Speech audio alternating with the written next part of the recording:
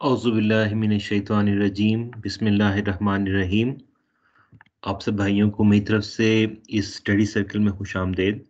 मुझे जो इसका पार्ट दिया गया है, वो ये है कारकुनों का असल सरमाया। और हम तहरीक और कारकुन किताब का मुताल कर रहे हैं। ये उसका हिस्सा चहारम है और उसके चार हिस्से थे, उनमें से तीसरा हिस्सा जो है वो मुझे दिया गया है। इस हिस्से में दो अहम चीज़ें जो हैं हम पढ़ेंगे इनशाला एक है अल्लाह की याद की अहमियत, हमारे सरमाए के हवाले से दो चीज़ें बताई गई हैं। एक, अल्लाह की याद की अहमियत और दूसरा इज्तमाही अखलाक की।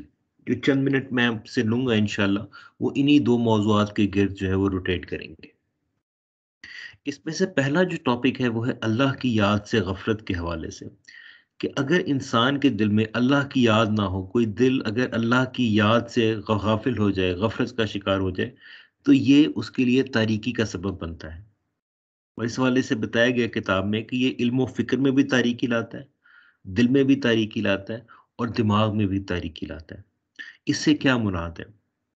अगर अल्लाह की याद ना हो तो उससे इल्म फ़िक्र में किस तरह से तारीकी होगी?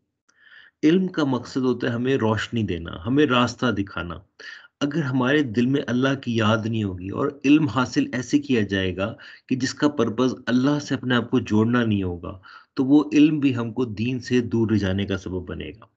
इसी वजह से हम देखते हैं कि बहुत सारे ऐसे रिसर्चर्स होते हैं मुफक्रीन होते हैं, जिनको नॉलेज बहुत ज़्यादा होती है, इल्म बहुत ज़्यादा होता है, लेकिन अल्लाह से, अल्लाह के दीन से, अल्लाह की किताब से, अल्लाह के नबी से वो उतने ही दूर होते हैं।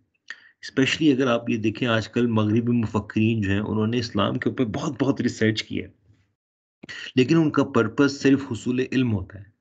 अल्लाह की याद से गफलत होती तो इस वजह से उनकी डायरेक्शन जो है, वो किसी जगह से कहीं और निकल जाती है। डिस्पाइट ऑल दैट नॉलेज वो दीन से दूरी इख्तियार करते हैं। दूसरी चीज़ है दिल और दिमाग। दिल is a place of emotions तो अगर हम अल्लाह के दिल को, अल्लाह की गफलत से, जो है अल्लाह की याद से गाफिल रखेंगे तो उसका नतीजा क्या निकलेगा? कि हमारा दिल और चीज़ों की तरफ़ जो है वो लगेगा। It's like a pot if there is nothing in there, something else would come to fill it. If there is no water in there तो वो हवा से भर जाएगा। उसके अंदर, दिल के अंदर ये मामला है कि ज़रूर कोई ना कोई चीज़ रहती है। अगर आप उसको अल्लाह की याद से गाफिल कर लेंगे तो वो किसी और चीज़ की याद, किसी और चीज़ की मोहब्बत, किसी और चीज़ की लगन अपने दिल में बसा ले, अपने अंदर बसा लेगा। ऐसा नहीं होता कि दिल किसी लगन से खाली रहेगा। अगर अल्लाह की मोहब्बत नहीं है तो हो सकता है माल की मोहब्बत हो हो सकता है अपने स्टेटस की मोहब्बत हो हो सकता है अपने जो है वो एक रिप्यूट की मोहब्बत हो हो सकता है अपने घर की मोहब्बत हो। इन चीज़ों की मोहब्बत जो है वो दिल में बस जाती है, अगर अल्लाह की याद से हम उसको गाफिल रखेंगे। और इसके रिज़ल्ट के तौर पे तरह तरह के इमोशंस निकलते हैं। कभी हसद का इमोशन निकलता है, किसी के पास हमने कुछ और देखा, हमारे पास वो नहीं है और अल्लाह की याद दिल गाफिल है तो हसद का इमोशन निकलेगा। कई दफ़ा नफरत का इमोशन निकलता है। कई दफ़ा और चीज़ों के लिए मोहब्बत का इमोशन निकलता है। कई दफ़ा नफसानियत का या आप जिसको समझ लें कि एक बेराह रवी की जो है वो कैफियत दिल पे तारी होती है। ये कब होती है? जब इंसान का दिल अल्लाह ताला की याद से गाफिल होता है। इसी वजह से अहादीस में फरमाया गया, जिसका मफहूम है कि जब इंसान एक जना कर रहा होता है, उस वक़्त वो मोमिन नहीं होता। जब वो चोरी कर रहा होता है तो वो मोमिन नहीं होता। तो ये उसके दिल में जब अल्लाह की याद नहीं होगी तब उसे इस, उसके जिसम से इस तरह के अफ़ाल जो है वो सरजद होंगे। और दिल का ताल्लुक जिस तरह से मैंने अर्ज़ किया इमोशन के साथ है तो आपके इमोशन जो है वो अनकंट्रोल रहेंगे। इसके बाद बात आती है दिमाग की। दिमाग का काम होता है फ़िक्र करना या दिमाग का काम होता है इंटेलेक्चुअल डिसीज़न मेकिंग करना। और अगर आप अपने दिमाग को अल्लाह की याद से नहीं जोड़ के रखेंगे तो दिमाग आपको ऐसे ऐसे मशवरे देगा, ऐसी ऐसी सोचें सुझाएगा, जो आपको लगेगा कि ये बड़ी इंटेलिजेंट बात है, ये बड़ी इल्मी बात है, लेकिन असल में वो बात इल्मी नहीं होगी। असल में वो बात हमारी गुमराही की तरफ़ हमें लेके जाएगी। तो अगर हमने इन, अपने आप को इन मुश्किल से, अपने आप को इन तकलीफ़ से, इस बेराह रवी से, इस दीन से दूरी से बचाना है तो हमें अपने आप दिल को हर वक्त अल्लाह की याद से जोड़ना होगा। और अगर हम ये करेंगे तो उसी सिरत में हम शैतान के हमलों से बच सकेंगे। अदरवाइज़ हम बज़ाहिर दीन का काम कर रहे होंगे, लेकिन वो दीन का काम भी हमारा दुनियादारी बन जाएगा। उसके अंदर भी जो है वो मकसदियत जो है वो ख़त्म हो जाएगी।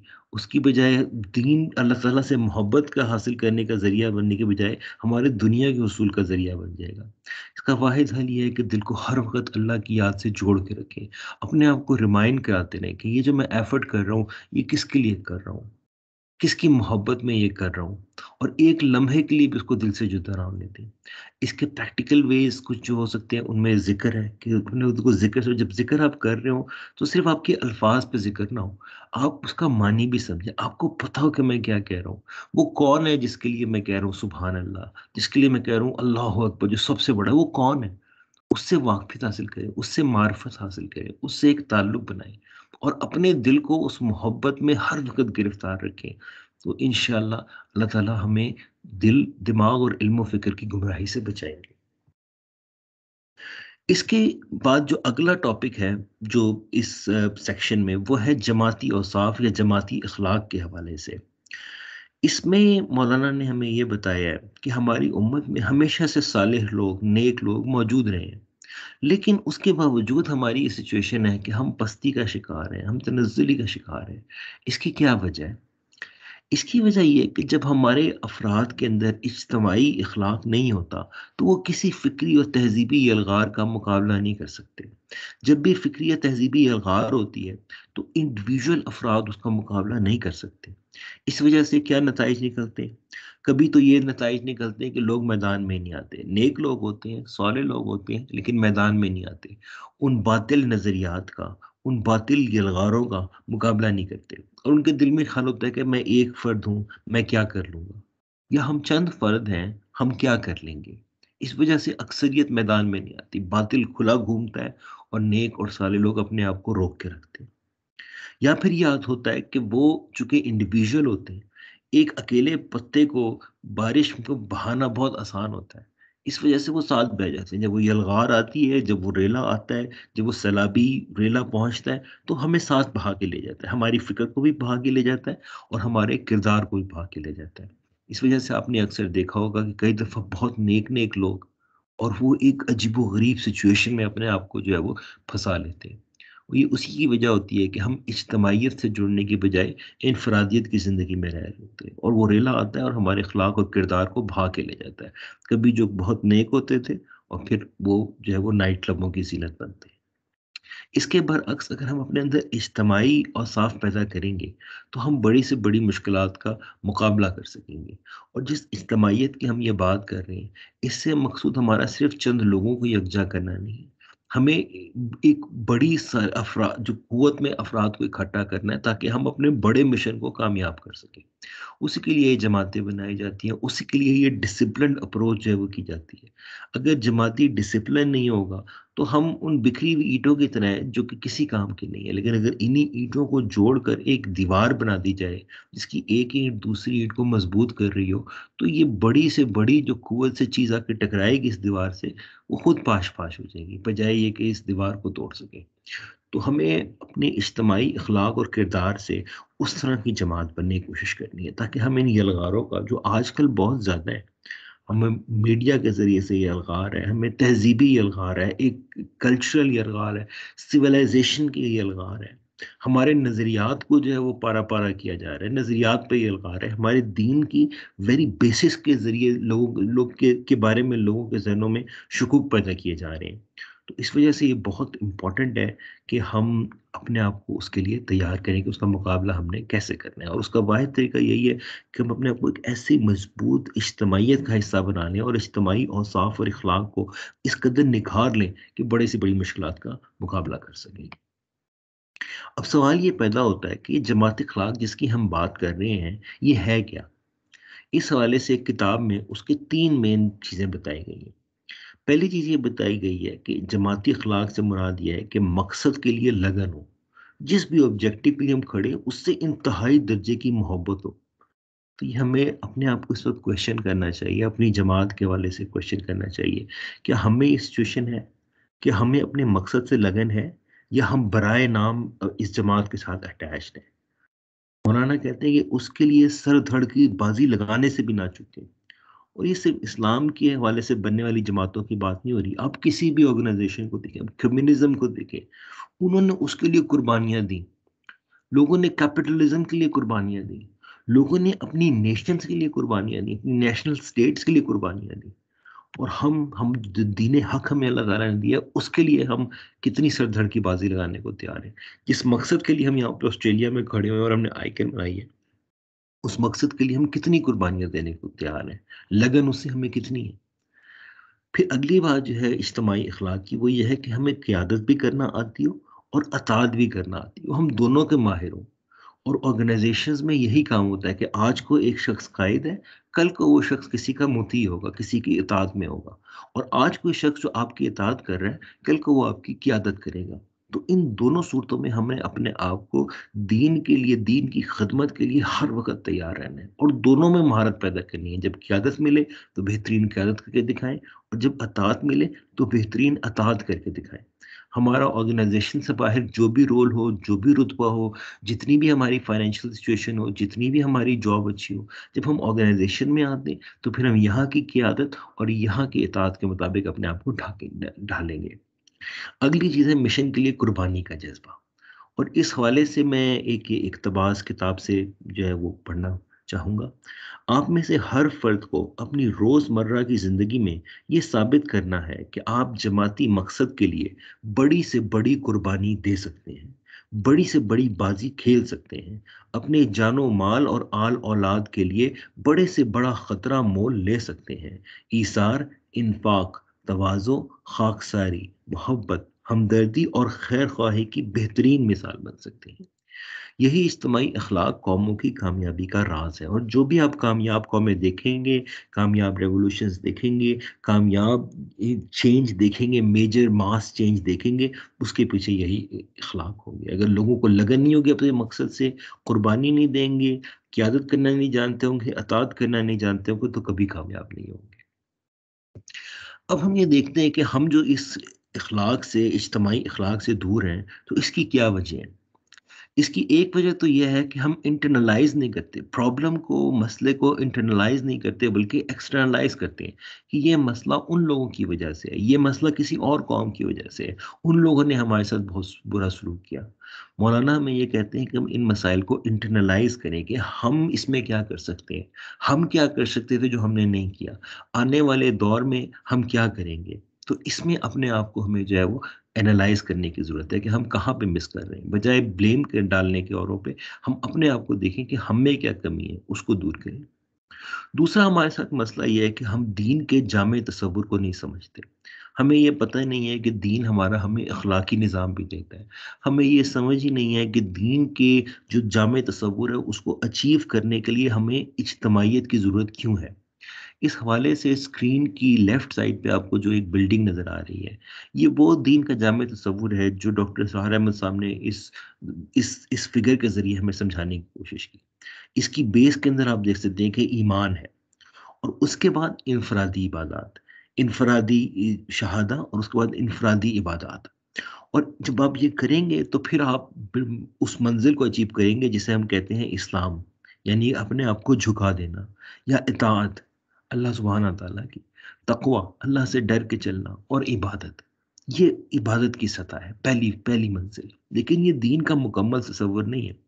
इसके बाद आपको जब आप अपनी इनफरादी इसको, इज्तमाही को इमारत को तामीर कर लेंगे, उसके बाद जो अगला आपका स्टेप आएगा, वो है बातिल नज़रियात से लड़ना।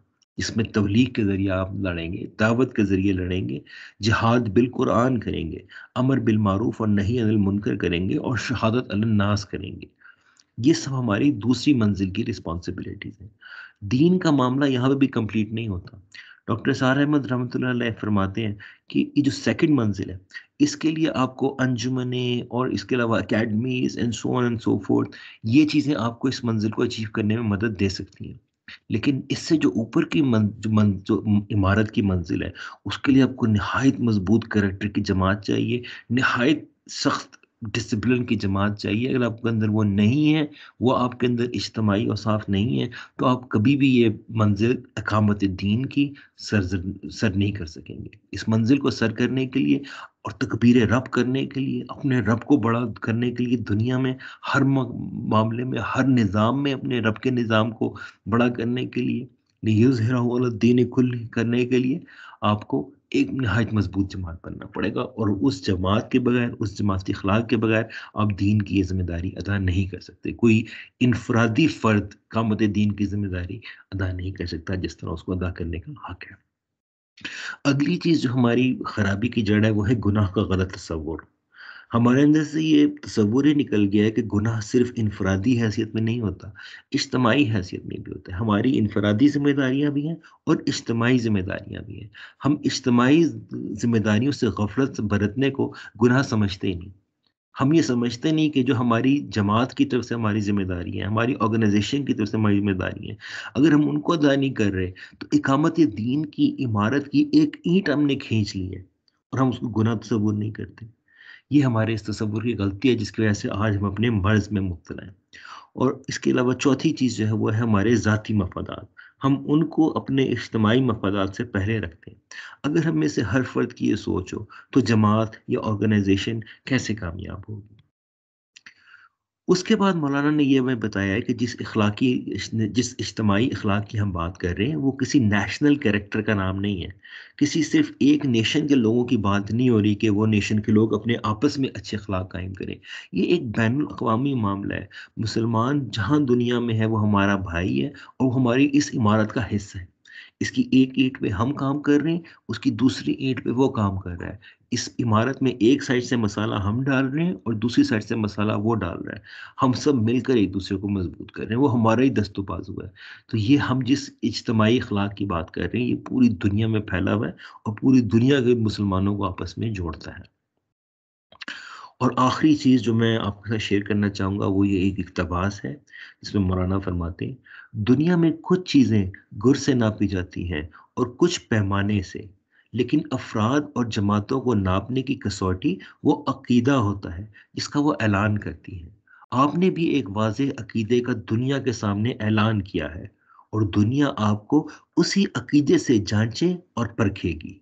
अब ये देखा जाएगा कि आपने उस अकीदे के लिए कितनी कुर्बानी दी है। मुश्किलात में इस पर कितनी इस्तकामत दिखाई है? इसके लिए कितने खजरात का मुकाबला किया है? और इसके इश्क में क्या बाजियाँ खेली हैं? अगर इस एतबार से आपका कोई वज़न हुआ तो दुनिया में भी आपका एक मकाम है और आखिरत में भी आपका एक दर्जा है। लेकिन इस लिहाज से अगर आप बूदे और नकारा साबित हुए।